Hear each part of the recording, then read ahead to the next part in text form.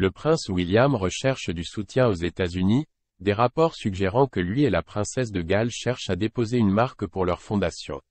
Le prince William se laisse plus détendu et ouvert avec le public lorsqu'il est en déplacement pour ses fonctions officielles, a noté un commentateur royal. Le prince de Galles a assumé un nombre croissant de fonctions depuis qu'il a succédé à son père le roi dans ce nouveau rôle, et une partie de sa stratégie consiste à conquérir le public américain. Le mois dernier, il a effectué une visite de deux jours à New York pour présenter les finalistes de cette année de son Earthshot Prize et discuter des progrès réalisés par les précédents lauréats.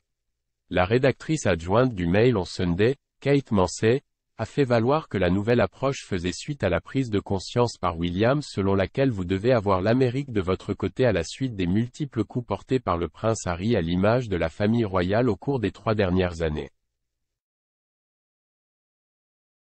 A suggéré que le prince et la princesse de Galles maintiendront cette aura de majesté pourquoi ils sont séparés et pourquoi ils sont différents, tout en étant du peuple, pour le peuple, dans le cadre de leur nouveau approche. Elle a ajouté, ils savent très bien ce qu'ils font bien. C'est le couple authentique que nous attendions de voir depuis des années. Comme William l'a laissé échapper, il est allé courir à Central Park un matin. Évidemment, les gens feront cette comparaison avec la course-poursuite des paparazzi avec Meghan et Harry à New York. C'est vraiment intéressant de voir que William se permet d'être plus ouvert.